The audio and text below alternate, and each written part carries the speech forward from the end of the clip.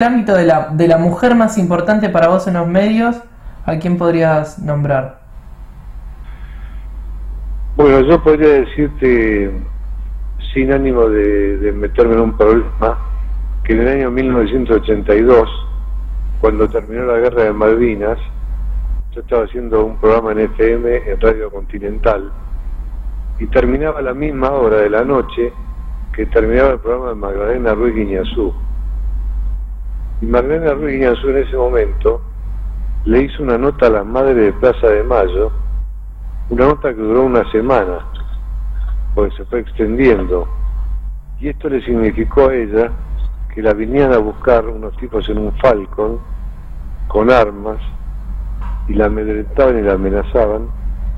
Y ella estuvo como 20 días saliendo a la misma hora que yo de la radio y yo temblaba de miedo porque no sé lo que ver un tipo un falcon con, tres tipos armados y ella este nada. Y un día los miró pero como diciéndole no se dan cuenta yo no le tengo miedo y los tipos se le derritieron se le derritieron. Fue un gesto que me impactó muchísimo pero mucho más me impactó cuando la gente que él ella le había hecho la nota que era este la madre de Plaza de Mayo de Bonafini, después le hizo un juicio en la plaza pública. Y a mí eso me, llamó poderosamente la atención, no por formar parte de ninguna ideología política, sino porque me di cuenta el estado de confusión que tiene que tener una persona